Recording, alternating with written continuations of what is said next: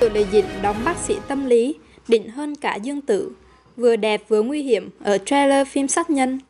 Trailer phim trinh thám Ai là hung thủ của Triệu Lệ dịnh đã được tung ra. Trong sự kiện chiêu thương của EQG diễn ra vào ngày 14 tháng 5, dự án trinh thám tăm tối của Triệu Lệ dịnh mang tên Ai là hung thủ đã thu hút sự chú ý đông đảo của khán giả. Trailer mới nhất của phim cũng hé lộ nhiều hơn về câu chuyện của cô, bác sĩ tâm lý bí ẩn, thẩm vũ và khung cảnh tan tóc của xưởng in thành phố Hải Chu. Đoạn clip dài 2 phút của Ai là hung thủ cho thấy hàng loạt vụ án mạng xảy ra tại khu xưởng in ấn. Trong đó, dòng thời gian bắt đầu khi lãnh tiểu bình, tiêu ương vẫn còn theo vụ án giết người hàng loạt tại đây. Thế nhưng vì nhát tay, anh đã để hung thủ trốn thoát, đồng thời khiến vụ án khép lại trong chóng vánh do thiếu bằng chứng.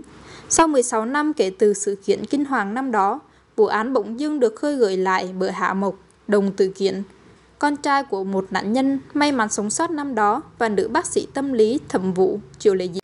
Ai là hung thủ giới thiệu nhân vật của Triệu Lệ Dĩnh vô cùng bí ẩn. Nay lại càng bí ẩn hơn, ban ngày cô ăn mặc vô cùng xinh đẹp, diện đồ màu trắng và rất chuyên tâm công tác.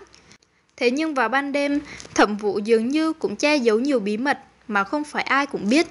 Trước đó trong trailer đầu tiên, màn hắc hóa trong tích tắc của Triệu Lệ Dĩnh đã khiến cộng đồng mạng bùng nổ, dự đoán số phận phức tạp không thôi của nhân vật này trong phim.